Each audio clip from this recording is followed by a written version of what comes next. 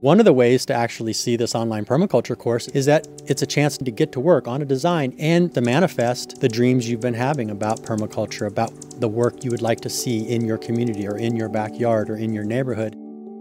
The opportunity is to work where we are, with whom we're with, what we have.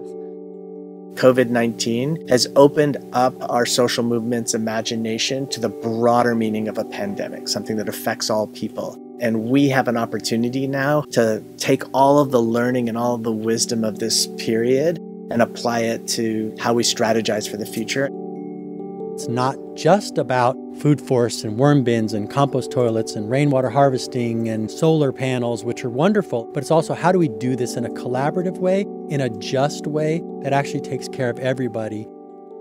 The hope would be to start to design or even redesign or re envision the communities that we have now to reflect that reciprocal relationship between food and people and art, and to be activists and start to take back our own power and our own choices, is what this course is all about. We gotta merge ecology and social justice. You really can't separate those two out. So, in a truly holistic and fully integrated design methodology, we need to address the social issues at hand and the ecological issues. How do we get along with each other well enough to actually do the work we want to do together? Collaboration and community governance are hallmarks of the permaculture. There's a cultural part, of this is social permaculture. OAEC just does a really wonderful job of bringing together so many communities and reckoning with the history of permaculture and honoring the indigenous roots of a lot of that knowledge.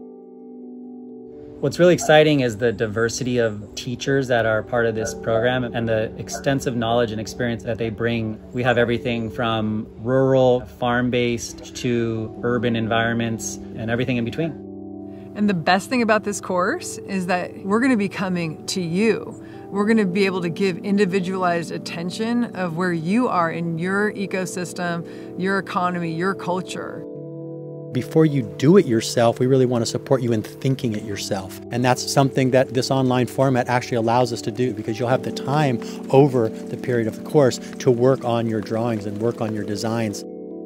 We've cut the price in half from the in person course, and we're also offering discounts for groups. And the best opportunity is actually to bring together family or friends or colleagues, people that wish to share in this collaborative project together.